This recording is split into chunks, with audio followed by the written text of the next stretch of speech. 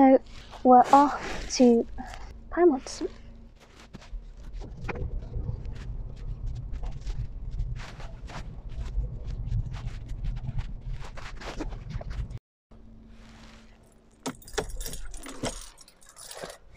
So today we're going to talk about IAS um, and the different IAS standards that you are required to learn for AAT, but hopefully in a nicer setting than just sitting at home. So you might get to see a bit of woodland today, a um, bit of nature, which is always good. But um, as always, let's get straight into the video. I've got to get out and get um, a ticket, etc. First, so let's get on with it.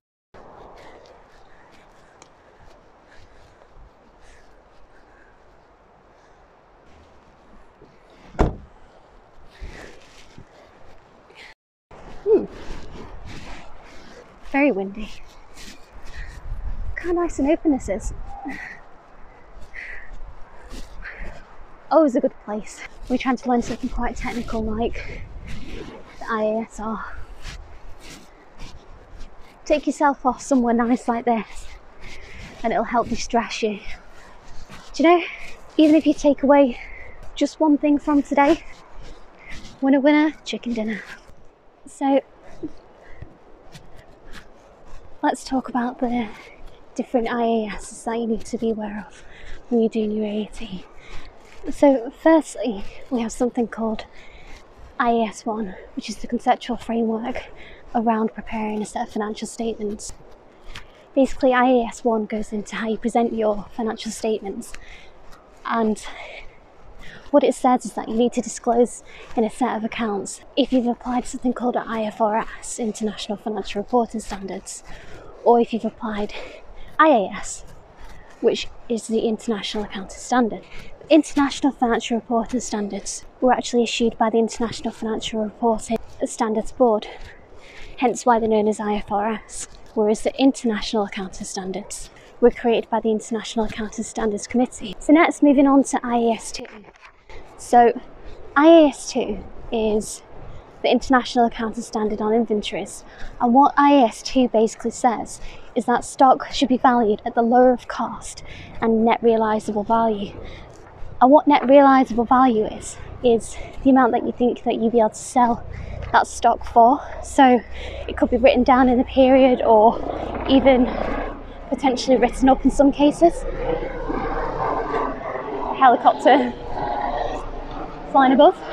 It's quite wet and windy, but you wouldn't actually know that because the trees are covering a whole lot of the wind right now, which is a good thing. The wind is definitely picking up now. So, moving on to IAS 7. So, IAS 7 basically lays out the guidance regarding cash flows. So, IAS 1 is the presentation of financial statements and is the main source for the required format of a set of financial statements, whereas IAS 7 just gives you guidance regarding the statement of cash flows and how this needs to be laid out. Now, IAS 8 is the accounting standard on accounting policies. These accounting policies are specific principles, bases, and conventions. These are applied by an entity when preparing their financial statements. So, management have to select the appropriate accounting policies for their set of financial statements, and that must comply with, with all international financial reporting standards and IAS. How nice that is over there.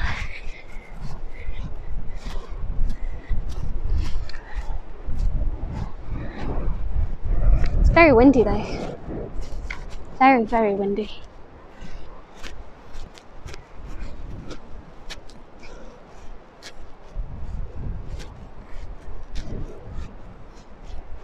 Next, we have something that's called IAS 10, which is events after the reporting date. So, this is an event that could be favourable or unfavourable that occurs between the end of the accounting period and the date that the the accounts are authorised for signature. So there are two different types of event. Now one is an adjusting event and these require the, the financial statements to actually be adjusted to reflect their impact and another one a non-adjusting event and these are merely noted in the financial statements. So next we have something that's called IAS 12 or income taxes. And what that is is that companies need to pay tax on their profits in a year.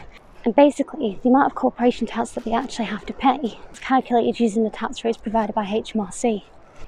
Now, when you get to the exam itself, you'll probably be told the rate that you need to calculate corporation tax at, but you'll probably have to physically calculate the tax.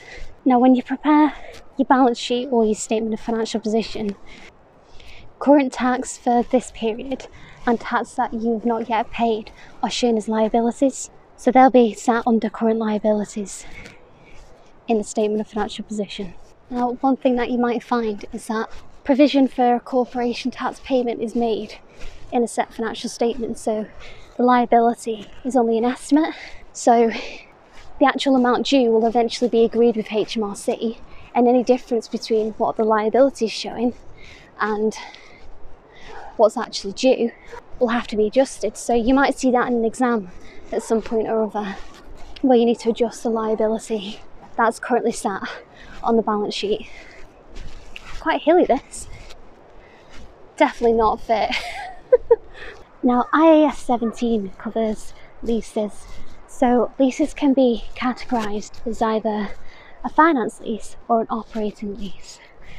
So I'd say of all of the IAS that you actually need to know, IAS 17 is probably one of the most complicated. That and provisions, contingencies, contingent assets and contingent liabilities.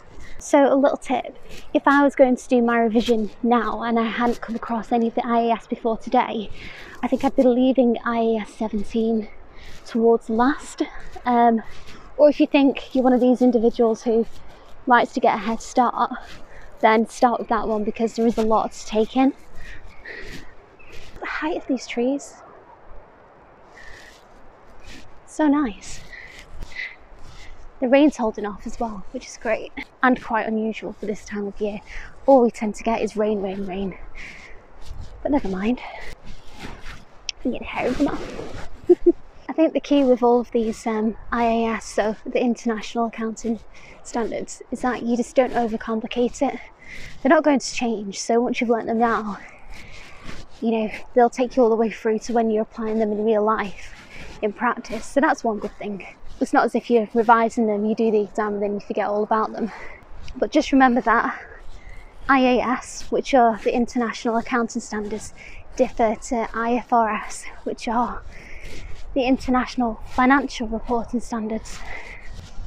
It's quite windy up here. See if I can show you some of the scenery.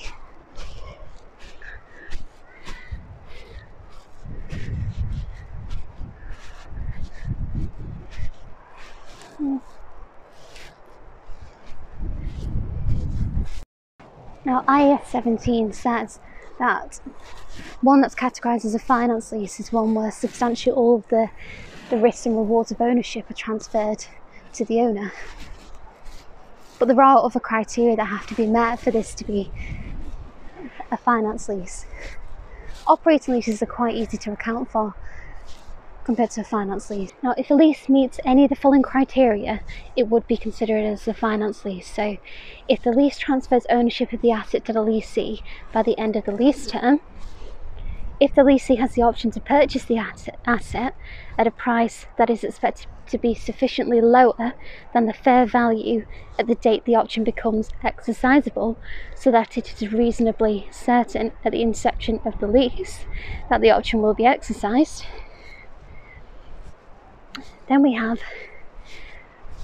lease terms for the major part of the economic life of the asset. And finally, at inception, the present value of the minimum lease payments amounts to at least substantially all of the fair value of the leased asset. If it doesn't meet these criteria, in all likelihood, is going to be an operating lease. So, hope you've learned something from today and at the very least, at least you've enjoyed a nice walk. But as always, consider subscribing, and I shall see you on the next video.